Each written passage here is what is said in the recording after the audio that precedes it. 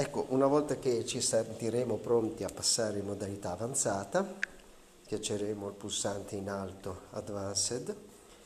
eh, verremo avvertiti ovviamente di cosa vuol dire passare in modalità avanzata, molte funzioni che adesso sono semplici in modalità avanzata saranno più complesse perché ci sarà chiaramente la possibilità di impostarle molto più finemente, con un numero ovviamente assai superiore di opzioni disponibili. Rispondiamo di sì, ecco qua, qui adesso siamo in modalità advanced, eh, in modalità advanced possiamo ulteriormente andare in modalità esperto, quindi in modalità advanced abbiamo un certo numero di opzioni, in modalità esperto ne abbiamo molto più del doppio. Ecco, eh, questa sarà la modalità che adesso andremo a illustrare fidemente nelle varie sezioni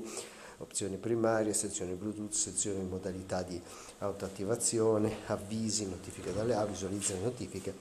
modalità operative, impostazione text to speech, personalizza il widget. Ecco, qui sono tantissime opzioni disponibili che vi permetteranno di impostare la mia applicazione in eh, assolutamente come vorrete voi. Considerate che nel caso del remoto che non ci sia la possibilità di fare quello che avete in mente, ci sarà comunque la possibilità di programmare la mia direttamente con un plugin Java. Sicuramente questo è fatto per esperti del settore,